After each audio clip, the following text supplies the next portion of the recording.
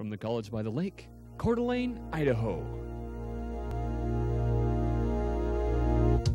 Local, regional, national, and international guests discussing the issues and topics affecting the way you live are on Forum, the North Idaho College Public Forum, with your host and moderator, political scientist Tony Stewart.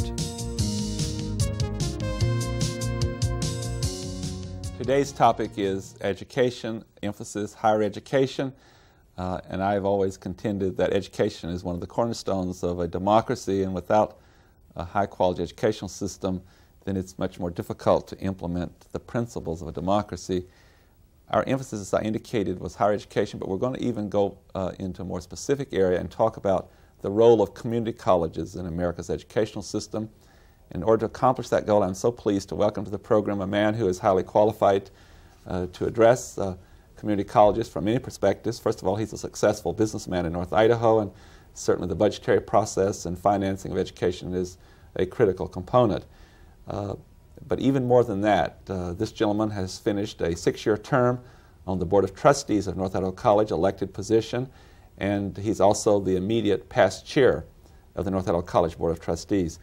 Jack, you're a busy person. We appreciate you taking time to be with us today to discuss uh, uh, the field of uh, higher education and community colleges. Well, thank you, Tony. I, I really appreciate you asking me to be here. At uh, uh, North Idaho College is very dear to my heart. I've been involved with that college for a long time, and, uh, and I appreciate you asking. And before we go into our questions, I should also add that you are an active member of the North Idaho College Foundation, which has raised many hundreds of thousands of dollars that also promotes education at North Idaho College. So, right, that's right, I am. So you come from many different as, uh, components and perspectives to this program. That's right. Uh, Jack, tell us a little bit about your own history before we get into some of the educational issues, about how you got involved uh, with your interest in North Idaho College and uh, both on the Board of Trustees and the Foundation. Well, Tony, I've been here for so long, sometimes I hate to admit how long it's been, but I've had a lot of friends that have been involved with uh, North Idaho College over the years, a number of different professors, and I was I was asked um, oh, six years ago or so if I wanted to get involved on the on the uh, trustee level, and at that time I, I was thinking, you know, maybe I could be of some some good to the college. I, as like I told you, I've I've had a lot of friends that have been involved for a number of years, and always had a strong interest. Always knew that this community college meant an awful lot to this community, and so I had the opportunity to serve, and I, I look forward to it, and I enjoyed it very much. Now, during this whole time that you were there, uh, experiencing tremendous growth in this institution, both in student enrollment and uh, in facilities. And uh, as we move into that process, why don't you give us your perspective from six years ago to now, where the college is, and some of the things that you're most proud uh, well, happened? I, I uh, yeah, I'd be very happy to do that. Six years ago, I think we were going through a change. Uh, that change was was very evident. Uh, Barry Schuler was here, and, and he'd been here for an awful long time. And, and uh, Barry did a tremendous amount for, for North Idaho College and for this community. But like in a governmental process, like we've seen happen here the last few days, when a change comes about, uh, it's time. And so I think Barry recognized that, and uh, some of the board members uh, felt like it was time to re uh, be replaced. And so, um, along with Joy Richards, she and I joined the board at that time. and and at that, uh, that particular instance, I think there was some kind of some miscommunication going on between the, the administration and the faculty. And uh, so I think that I, that was our biggest uh, challenge when we first got on the board six years ago was to bring back that, that uh, understanding between the administration and the faculty and be sure that everybody was working in a team effort. And uh, we accomplished that, I think, in a relatively early stage of the six years. And then, and then we got involved very heavily uh, with the new library and uh, my fellow trustees and I, and Dr. Bennett and his very able staff members, particularly Steve Shank, we went out into the community, and and the community uh, stood behind our effort, and we were able to bring this library into the into the fold, so to speak. And it uh, it's a beautiful facility, and as like you say, education is the cornerstone of what goes on in this world. Uh, a library is the cornerstone of education, as I see it. So uh, we're very proud of that. For, for our viewers who are off at some distance, the legislature appropriated a sizable portion of money for the library, but it was not sufficient to complete. And I believe that in this local effort, there was over $600,000 that was added to the appropriation of the legislature to complete the facility. That's right. Uh, Dr. Bennett and I talked about that at great length, and uh, one of the things that Dr. Bennett did when he first came to North Idaho College was go out into the community and let the community know how important our community college was to the, how the whole community was to function. And we knew that if he did that and we let everybody know how important we were, that we went back out in the community and asked for some funding to help us with our library, that they would stand behind us. And within just a few few months, we got the funding we needed to help bring about the new library, which which was a tremendous accomplishment as far as I'm concerned. We could also tell our viewers that housed not only is the library, which is, as you've indicated, the heart of a campus, but we also have uh, a second floor that houses uh, the offices and classrooms at the University of Idaho, plus the computer uh, right. programs at North Idaho College and the instruction in that field.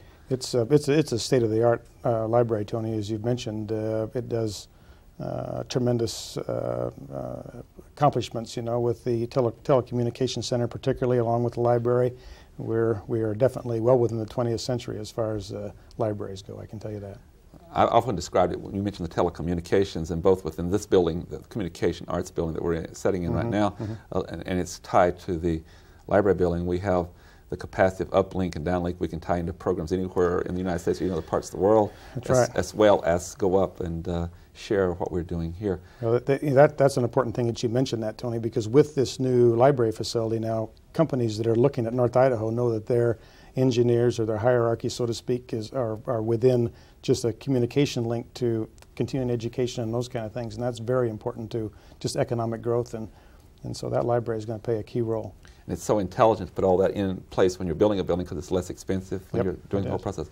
And one of the final point on that uh, that you triggered in my thinking with your comments, and that is there are ripple effects from making those kind of decisions. Not only does it create uh, quality to the instruction and training students for the future, but secondly, as you're saying, you were on the program recently dealing with another issue, and by the way, congratulations for your work on uh, the 1%, 1%? It, really? for its defeat. And, but in relation to that, the ripple effects of how industry and those that are looking for places to locate, they look for where colleges are and, and the, those kinds of uh, technical assistance that they can get. Exactly. In fact, what you're saying there is very apparent with, uh, with the Harper's organization that um, uh, is going to bless us with their presence here in a few years. And and it was, uh, I think, the final blow that got them to come here was the cooperative effort between North Idaho College through Dr. Bennett and the Spokane Community College in putting together a, a training program for their, for their employees that, uh, that, that, that turned the tide. And so those community colleges and that level, you see how important they are to the, to the well-being of the community. As we promised our viewers, we said we were going to talk in, in, in some, I guess, philosophical, theoretical ways about the community college. And now with all those years' experience that you've had, would you share with our viewers what you see as the role of community colleges, or I'll put it another way, if I was asking you to define what is a community college, uh, what thoughts would you share? Well, I think as time goes on, people are going to recognize more the importance of a community college. A community college fits into the slot of education so well between a high school education and a four-year education. Some students just are not going to want to go on to a four-year education. And a community college is going to fill that gap. And it's going to be because it's locally controlled, because it's the board of trustees are members of the community, and that trust is placed on them through the electoral process, so to speak. We're able to then help the college and its administration and faculty mold that community college around the needs of that particular community. So those students that are going to be going to school here are going to hopefully find work, uh, a place to work in that community. We're going to upgrade the the status of the community because our workforce is going to be educated. And that's what community colleges do. And as we go on, I think we're going to find more and more importance in that direction. I really do. I think it's very important. And as you're doing that, are you fitting a role or a need that the university doesn't do or, or is not even the role of the universities to do? Well, yeah, I think that I think that's uh, I think that's part of it. You know, the, there's a, a book that's out that we kind of use a little bit as a reference, and that is one that was put out by Dale Parnell. I'm not sure you're, if you're familiar with that or not. And I think the title of it is something along the line of the neglected majority. We're talking about all those students who are coming out of high school that really don't have a set plan to go to a four-year institution, and those are the that's the workforce in this country. And Dale Parnell says, and I think that the North Idaho College is taking a lead in that, and I'm very proud of the fact that they are is that we can take a two-year community college education and key that to the last two years of a high school education. And the student can actually select some sort of a, of a, of a, of a major, so to speak, as at their junior year in high school and take the last two years in high school as a prerequisite to the two years that they take in a community college and actually get a four-year degree as they see it at least, in some kind of a particular ed, uh, process that they can go out in the community and be a, an educated, informed uh, employee. And I just think it's a tremendous program. I really do. So that, that's really interesting. So they, they wind up really with within uh, two years after high school, actually four years of a technical training and background. Well, it is, and it's kind of a, what they call a two plus two program or a tech prep program. But as I see it, you know, you could even do this in such a way that as a junior in high school, at the end, at the start of their junior year, they could be selecting a major and you know, a lot of these youngsters, when they get to be a junior in high school, you know, they don't know what they want to do. They're at loose ends, and they're kind of got girls and cars as the most important thing going for them. But if they start seeing that by taking the last two years of a high school and see the reasons why they're taking those courses, and at the same time fit those into the last two years of their uh, two years of a community college, they actually have a four-year degree. It's not a four-year degree like it would be from a four-year institution, but the important thing is they've got all the educational base to get them to do what they what they want to do. And I just think it's, it's just a wonder. When you go around the country and, and, and go to these different uh, association meetings with community college trustees, whenever they're talk, this subject comes up, it's just an immediate draw for all these people because they know how exciting it is. Another experience you had, another population that the community college serves, in addition to those young people that are in high school or coming out of high school, is, is older women and men who have are changing careers. Or, exactly. I understand that most people now uh, in this high tech world we live change occupation three or four times. Right. Would you speak to that question and what the role of the community college is with well, returning adults? I, I, can, I, can, speak on a real personal level. I've got a brother-in-law who got laid off in that last mine closure in Wallace, and he came down is now taking uh, HVAC air conditioning heating here, and it's a real important thing in his life. He was, uh, you know, to a point where he didn't know really what to do, and this whole program opened up to him, and his future is going to be a bright one just because the community college is available to him. And at the same time, these programs are kind of keyed to what the needs of the community are. And it's uh, and because of the fact that it is controlled locally. And again, that's the most important part I can talk about this community college thing because we're able to move one way and another as the community demands a uh, certain education. And, and that's the best for our students because they're going to have a place to go once they come out. And for those who are not familiar with community colleges, these, these populations that we serve are, are, are many and diverse.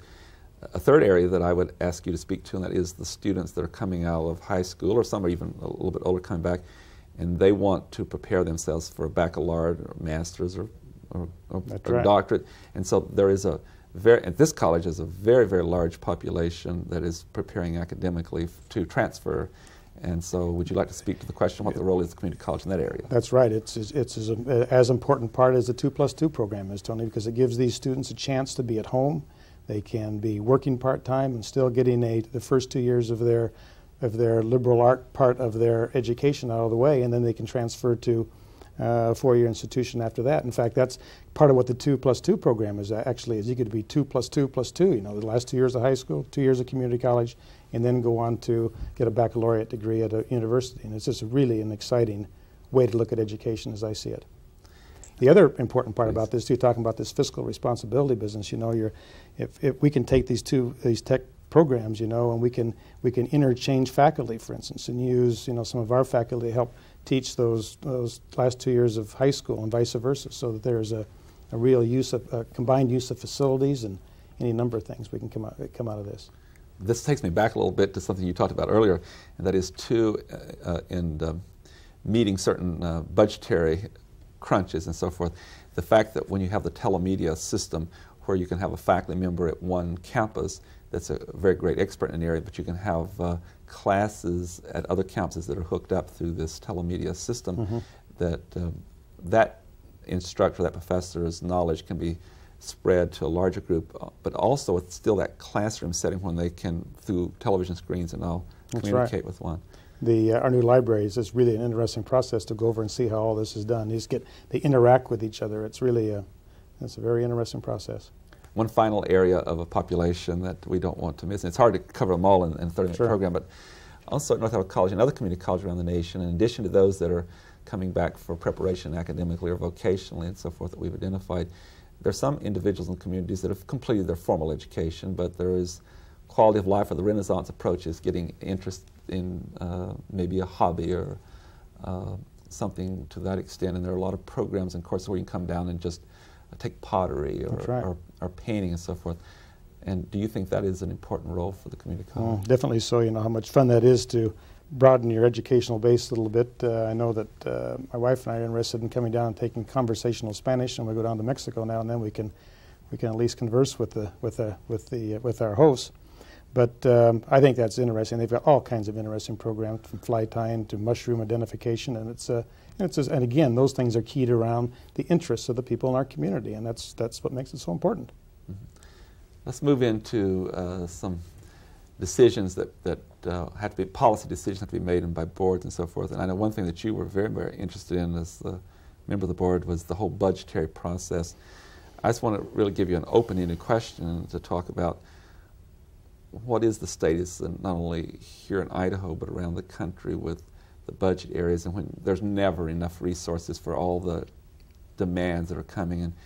Jack, what would you recommend to other trustees that would be watching this program in other states about how do you want, how does one address the budgetary uh, constraints? Well, that the budgetary constraints are going to be ongoing, Tony. We know that to be the case. There's just never enough money when it comes to education, as far as I see it. Education, if you are you've already alluded to, is the backbone of this country. So uh, we can't spend enough money on education, but still, there's constraints for whatever reason because of uh, just we went through this one percent initiative thing here, where some people feel like education gets too many of the dollars. But we take what we get, and and gladly, always knowing we need more. But as far as a trustee is concerned, and, and those of us at North Idaho College and my fellow trustees, and we agonized every year over the budgetary process, and it was a uh, it was accomplished because we had trust with each other, not only from a from an administrative level with Dr. Bennett and his deans, but the, but the faculty and the administration and and the and the, and the board of trustees collectively worked together to to try to make all ends meet, so to speak. And it was an agonizing, agonizing process. You know, you have to keep a balance between uh, uh, the operation of the campus itself and the physical plant and be sure everything is, is stayed in good order because that's part of our public trust as elected officials. But at the same time, we have a great interest in our faculty and be sure that they get paid a, a salary that they're well deserving of. And it's hard a lot of times to make those two things come together. But as I say, it's an agonizing process, but because you have trust with each other, and we do at North Idaho College, you're able to, to uh, bring around a, uh, a solution. We don't always agree, but uh, we get it done, and we get it done within the budget. We're not a penny over budget. There's not a bit of red ink in this college. When you deal with that, and you, you know, you've identified salaries for faculty and other staff, and you have your capital ongoing expenses for facilities and so forth, eh, based on all that, do you what kind of concept do you have? The, I, I, guess I'd ask you for the, for the viewers and people who might be interested in the future is, and I've only identified two, but, but looking at a budget, how many major categories do you think that uh, should be in place to deal with the different uh, expenses that an institution uh, such as community college would have? Well, you know, we have we have two major components of a community college: the physical plan on one end and the mental plan on the other, and both of them have to be well cared for we have North Idaho College. We have got some just some tremendously talented people. We want to keep those people here. This is all, that's all there is to it. And we have to be able to provide a, a working salary so that we not only do we have a beautiful place to live, but they can make their ends meet. So you have that dilemma along with the physical plan itself. But of course, you know, you need to keep some money around and try to have some available to us for expansion. You know, we just got through doing our library. We have a demand and those kind of needs. And the whole thing all comes together for trying to provide a quality education for the students that we serve. And so really it, it varies from year to year of what our, our needs are. And, and the trustees will look at our various, uh, what we think are needs over the coming 12 months and sit down and try to formulate a budget that's going to fit those needs as, as, that, as that board of trustees uh, uh, feel their, those needs are going, are, are going to be. So I'd like to preface my next question by indicating that for our viewers who don't know you, you have been an articulate spokesperson for local control and the importance of local control, and you've mentioned on this program today too. Uh, in dealing with, with that concept and that position, when the federal government comes in or the state government comes in, oftentimes they will bring in dollars and, and there are restrictions on how that can be spent. But the other thing they do oftentimes, they will give one startup money for a program, but after getting one committed to that with staff and programs and facilities, after one or two years, they will disappear from the scene, and, mm-hmm. and therefore one's own revenue will have to pick that up. Um, what is your position on those kind of programs, and how, how does one best walk delicately through uh, both grants with restrictions and secondly, startup funds? Well, we've had um, some real good fortune, quite honestly, with these grant programs. We've got a number of programs that have started uh, on this campus through some uh, federal funded grants that we have decided the programs were, were of such value that we found a way to fund them even after the grant money disappeared. Some of them uh, we let go by the wayside, but in most instances it's been a, uh, they've been very, very rewarding for this campus. Uh, we have a very active grant writing program. Uh, some of the successes are have been monumental, as I say, and and um, but I think it's a I think it's a, a, good way to help fund some of the shortfall is to see if we can get our our big brothers to help us out a little bit, and they don't they don't demand too much from us. We have a, we got a pretty good uh, uh, pretty good free head in how we can handle those decisions. So another another question that, that often arises is that everything goes up, of course, and it's more expensive and in dealing with funding at North Idaho College, a lot of our viewers may not know that we get it from different sources, including tuition fees of the students. Would you identify, and other, other colleges other parts of the country that have this kind of funding or a different kind of funding? I guess what I'm attempting to ask is that we don't put all of our eggs in one basket. Uh, what are the major sources of funding that for community colleges that uh, can keep the price down somewhat for the student who doesn't have uh, a significant income? Well, I think it's it's good management as much as anything, Tony. You know, we we discussed some of the obvious fiscal mm-hmm. uh, where we get our, our dollars, you know, through the grants or through taxation or through um, uh, tuition and fees and and uh, state funding. Uh, but really, you know, we we watch our dollars very closely at a community college level. And again, you know, we're, we're a small community. The, the board of trustees are elected by the, by the, by the, by the community at large, and, and we take a lot of pride in that. And I think that, you know, how we spend our dollars is very, very important to us. And we want to be sure that, that uh, out the back end of all this comes the most important part, and that's a quality education for our students. And um, I've never seen a time on that any one of my board meetings that I've been involved with that we have been very cognizant of how we spend our money and uh, we get a we get a lot of lot of bang for our buck, so to speak. And I think that is again is what community colleges really bring to the community is a quality education for the lowest possible price, and um, and we don't we don't let uh, the low price change the quality of the education we have, and that's why we were so concerned about that one percent initiative business. But uh, we resolved that, and uh, hopefully we're going to find some tax reform that will help give the property owners a, a little bit of uh, little bit of relief. All the statistics that I have seen uh, comparing community colleges with four-year colleges and universities is that the amount of money that is spent to uh, educate those individuals at community colleges uh, on a per student basis is much lower than the four-year. And I know the four-year institutions have to have a lot of expensive programs and graduate programs and smaller mm -hmm. classes and so forth. Do you think that is one of the great assets of community colleges that because it is lower per student, uh, that that that's opened up higher education to more people in society? Yeah, I, I, think that's definitely so. You know, I've had a number of people who tell me that their youngsters decided to go to North Idaho College, you know, and, I'll, and I say, well, number one is it's going to save you some money, and number two is you're not going to find a better education process any place than North Idaho College. Those kids for those first two years are going to get the, the finest there is at a much reduced cost. And again, I think that's because you're able to control our dollars, we're able to watch every bit of it, and uh, we all have um, a common direction, and that is uh, uh, this, this community college process. I've also seen some studies both for K through 12 and particularly primary schools, and also seen at the college level that the the faculty student ratio is very important. And so right. it's my understanding that the first two years of community colleges, the, the number of students in a particular class is much smaller. There are many universities, large universities, where there'll be 800, 900 students in one lecture class, whereas community college, even though those have grown in size because of the, the economic crunches, but uh, it's a lot easier to work with 30 students or 40 students than 800 in a class. That's right. And so you're saying that that's part of the process of well, that's of one the of the reasons why making. I think that's true, and and uh, and uh, we recognize at the same time that those students, when they have a class of 30 students as opposed to 300, that they're going to walk out of there with a tremendous education. And on top of that, faculty member that's teaching them is probably one of the finest faculty members there is in that particular field in the United States of America. That's a quality of faculty we have at North Idaho College.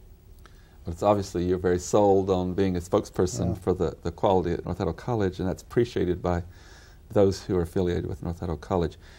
Um, As we look into the future of education, President-elect Bill Clinton has emphasized several things, and one of them throughout the campaign was education, another one was health care, and, and of course the whole economic picture and jobs. But I haven't studied in depth, but he has indicated during some of his speeches that he'd like to, to create a national uh, trust fund uh, with the idea that any person who is desirous of higher education, uh, it would be able to take advantage of that uh, desire that they have, obviously with an understanding that they are serious about pursuing that. Do you think this is going to create uh, a new approach to both four-year and two-year schools, and is this somewhat revolutionary. And um, you know, you talked earlier about this change mm-hmm, comes mm-hmm. there so often. And I just like to get your reaction to well, I, the role I really, of the federal government doing I that. really, quite honestly, Tony, don't really know what's going on in that mm-hmm. regard. Uh, my concern, whenever the federal government gets too far, far, involved in anything, is that you sometimes lose that control. And those are the things that I just wouldn't want to happen to us. Here we know what our costs are. We can keep those those costs uh, uh, well monitored. And we have a taxing process right now that allows these students to come to school for a minimal amount of dollars in relationship to what other things in this world cost. And uh, so I, I don't know what uh, President Clinton is going to do in that regard, but I can tell you that I would be resistant to too much federal involvement because I think that we lose our, we lose our control, which is, uh, as I see it, is the real backbone of what a community college is all about. I want to take advantage of your background and experience in asking this question. I think it's often very important to look toward the future and what we might anticipate happening. Now, with your background in education and, and as a trustee, what do you foresee as one of the greatest problems facing all areas of higher education and particularly community colleges, say within the next decade? Well, I think we've kind of talked about it already. I think the biggest challenge is finding a way to educate this mass of people out there that really aren't, that don't have a mindset for higher education. We've got to somehow stimulate the interests of these young people at an early age to get them directed towards a productive life. And uh, I think a community college is the is the right tool, quite honestly, or I wouldn't be here talking to you about it, nor be that interested in what community colleges are. But that's our goal. We've got to get people to understand that in order to succeed in this world, you need to be educated. You need to be educated about yourself and your fellow man and the world you live in, and to be educated enough to be able to do something that's going to give you a reasonable return for your for, for a lifestyle. And it's only going to come through education. And I think the community colleges are the are going to be the people that uh, that accomplish that. That's a very important note on which to end the program. I've got the signal that we're out of time. And Jack Beebe, thank you for being with My us. My pleasure, Tony. Thank you. We appreciate it. I appreciate it. Ladies and gentlemen, I know you've enjoyed our program, and I'd like to invite you to be with us again next week at the same time when we will discuss another important subject. Until then, please have a good week. I am Tony Stewart. The North Idaho College Public Forum was videotaped live from the studios of Telemedia Services on the campus of North Idaho College for viewing at this more appropriate time. We invite you to join us again next week for another all new edition of the North Idaho College Public Forum on this public television station.